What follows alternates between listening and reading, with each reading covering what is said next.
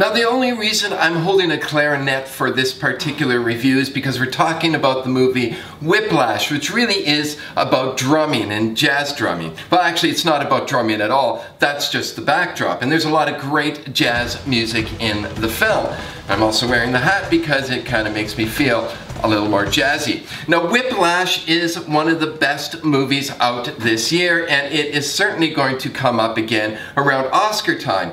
Maybe for its director and writer, but certainly for its actor J.K. Simmons, who plays one of the nastiest bullies mean-mouthed and mean-spirited men you would ever see on screen. Now Whiplash is already getting some backlash because of its portrayal of a bully. I think Whiplash has something really interesting to say about bullying and that is that the bully can be very charming.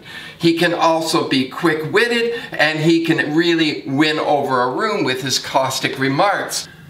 Whiplash is one of those movies with an ambiguous ending. How you perceive the way the film ends will likely affect how you perceive the film overall. And I think J.K. Simmons gives one of his best performances, even if you hate him for it.